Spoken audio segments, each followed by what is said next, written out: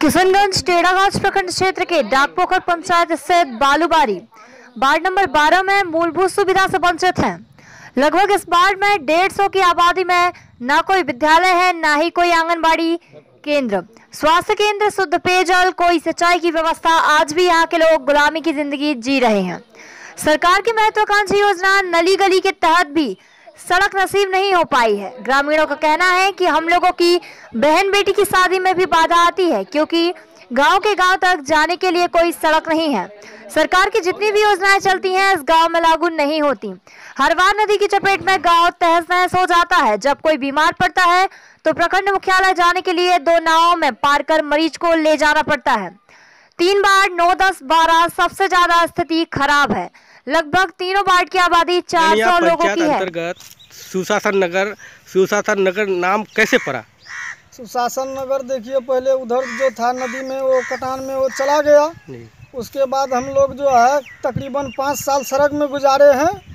पाँच साल गुजारने के बाद कितना मुखिया सरपंच वो कहते कहते कैसे करके हम लोग को बिहार सरकार ज़मीन पे बैठाया है। महादलित रेटोला चालीस घर का परिवार यहाँ पे है। लेकिन जो है, हम लोग को नहीं यहाँ आने का और नहीं जाने का।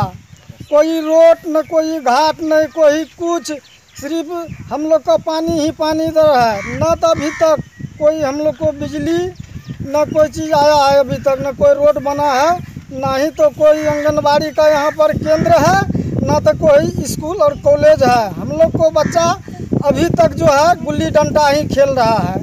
अगर गुल्ली डंडा नहीं खेलेगा तो हम लोग को बच्चा करेगा क्या?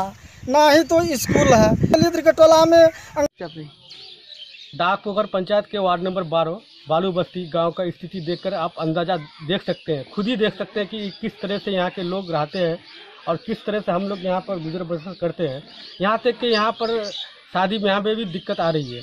यहाँ पर बहुत सारी सुविधा नहीं है, जैसे स्वास्थ्य, शुद्ध पेयजल, शिक्षा इत्यादि सड़क इस सब घोर कमी है। ना ही इसका स्थानीय पर। काटो। कोई रोड घाट नहीं है।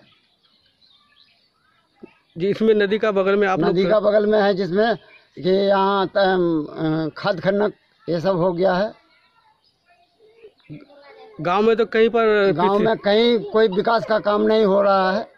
कहीं रोड भी नहीं दिखाई रोड नहीं दिखाई दे रहा है न रोड होता है। कोई अधिकारी आता है देखने के लिए? कोई नहीं आता है। आता है देख सुन करके चले जाता है। कोई विकास का काम नहीं करता है। आपका नाम क्या हुआ? सीताराम। पंचायत? ढाक पोखर। नाम क्या हुआ आपका? मेरा नाम महबूब आलम हुआ पिता गयासुद्दीन। प्रखंड टेरागाज पंचायत डाक पोखर वार्ड नंबर बारह का। निवासी बालू बस्ती बलवाडांगी के अंतर्गत हम लोग हैं हाँ, लेकिन इस गाँव में तो पूरा जंगल जहाँ रोड पिछड़ कीजिएगा हम लोग उन्नीस सौ नब्बे से यहाँ जो बैठे हैं अभी तक ना कोई प्रतिनिधि का देखभाल है। विधायक को भी कहे एमपी साहब को भी कहे कि हम लोग को कोई रास्ता दीजिए। सैलाब में ऐसा हो जाता है हम लोगों का कि एक तो बीमारी पड़ने से दवा का मिलना मुश्किल हो जाता है। दोनों तरफ़ से नदी घिरा हुआ है पूरा निकल नहीं सकते पश्चिम नदी है हम लोगों का। हम लोग ऐसा हाल में है कि हम लोग भूखे भूखे मर जाते हैं अनाज नहीं मिलता है हम लोगों को ना मार्केट जाने का कोई रास्ता है यहाँ। कच्ची रोड भी नहीं निकाल के देते हैं कोई।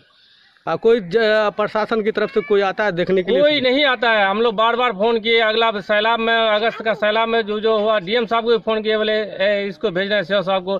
सीओ साहब ना आया ना कोई आया हमारे यहाँ ना मुखिया का अभी तक आवागमन है।